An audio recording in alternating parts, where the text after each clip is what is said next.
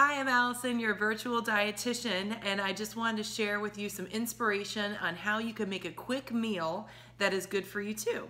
So I just got home from a great weekend with my girlfriends at the beach and I am hungry and instead of going through a quick drive-through, I decided to pick up some of these delicious um, pineapple jalapeno burgers. It's made with chicken and um, I cooked it in the microwave for one minute and since it's the evening and I don't really need any additional carbohydrates now that I'm gonna be going to bed, you know, in a couple hours, I am choosing to use these cauliflower sandwich thins. These are delicious. They're better than any ones I've ever I've tried thus far. This is from Outer Aisle Gourmet. There's only four ingredients in it. It's Parmesan cheese, egg, um, cauliflower, and nutritional yeast and in it there's four grams of protein, two grams of carbs, and each piece, each slice has 50 calories in it.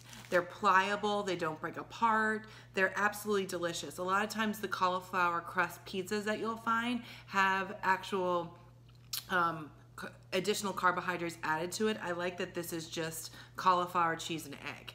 So they're the um, fiber in it is one gram and it's two grams of carbohydrates. So this is a bonus. So what I did, I came home, I threw the burger in the microwave for one minute. I heated up the buns for 20 seconds um, total.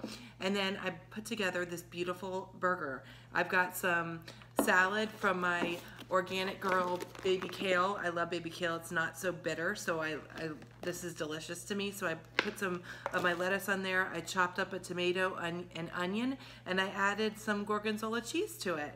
So to me, this is gonna satisfy me, not fill me up with excess carbohydrates, that I don't need at the end of the day and it's filling my plate up with additional vegetables so that's more fiber to help keep me full and give me the nutrients that are going to keep me healthy.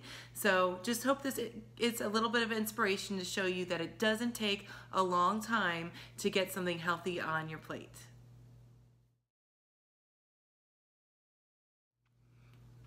I wish I would have filmed me taking the bite, but you probably wouldn't have liked that because it's a little bit rude. But look at how delicious. Mmm so, so, so good.